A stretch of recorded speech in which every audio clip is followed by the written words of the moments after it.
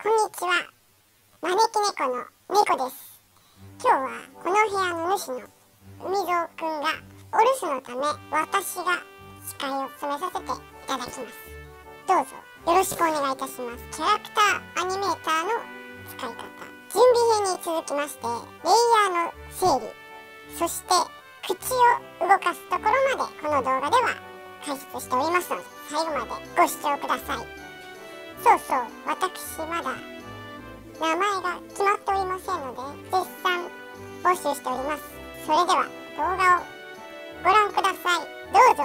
イラストを描き終えました。顔を全部表示すると怖いので非表示にしてるんですけれどもレイヤーを整理していきます。まず大見出しというか全体の名前を付けます。新規レイヤーで海像というレイヤーを作りこれを一番上に持っていって全部海像の中に入れます。フォトショップとかと違ってホルダーっていうのがないのでこうやってサブレイヤーみたいな感じで整理していきます。海像の中に全部入れました。でその海像の中にもう一つ新規サブレイヤー作ってヘッドヘッドを作ります。そしてヘッドの中に頭要素を全部入れてきます。髪の毛で見えないんで非表示しますけど頭にあるのはだと思われるものを全部とりあえず入れて整理します。ヘッドの中に入れます。次に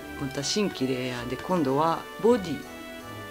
ボディを作ります。そしてボディと思われるものをボディに入れちゃいます。ボディボディボディ。ヘアはヘッドかな？フェイスバックグラウンドヘアトップもヘッドかなと思うのでこれで海像の中にヘッドとボディができました。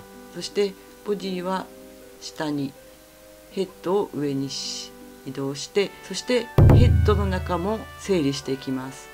ヘッドを開いて新規レイヤーで今度はプラスライトアイブロウというレイヤーを作ります。ここにできちゃったのでヘッドの中に移動して右の眉毛をこの中に入れていきます。顔フェイスバックグラウンドが上にあるので表示が見えないんでちょっと後ろにしてますね。眉毛の上に前髪があるのでこれも上にした方がいいですね。あ前髪を下にする。もしくはフェイスバックグラウンドと一緒にしてもいいかもしれないですね。ヘアトップフロントをFace Background の上にして Right Eyebrow を上にしています。 Hair Top Back は Body の中に入れて体の一番後ろに持っていきます。頭に戻ります。オーリーと Angry と Right Normal だな。右の眉毛を整理しました。次は左の眉毛を整理します。また新規レイヤーでプラスの Left Eyebrow ですね。プラスをつけます。プラスは独立したパーツにつけるマークです。この Left Eyebrow の中に左眉毛を入れていきます。 Left オーリこれですね。名前普通は Neutral にします。次は目です。新規レイヤーで右目 Right Eye を作りました。そして Right Eyeball と Right Blank の Blink ですねこれ。まばたきが Blink です。 Blink とRight Eye 白目ですね。白目と目玉とまばたきを Right Eye に入れました。次は左目新規レイヤーで Left Eye。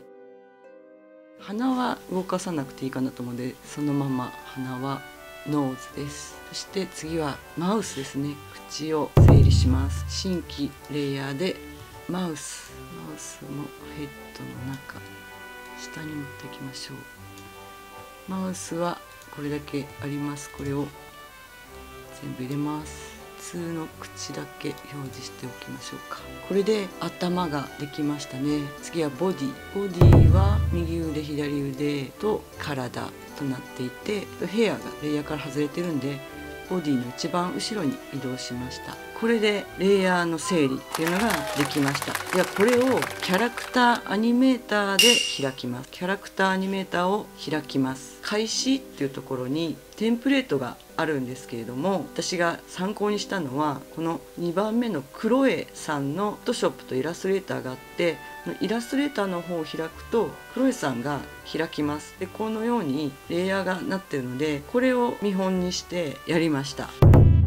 キャラクターアニメーターに戻ります。上のリグというところを選択してファイルから読み込みそしてさっきのイラストレーターを読み込みます。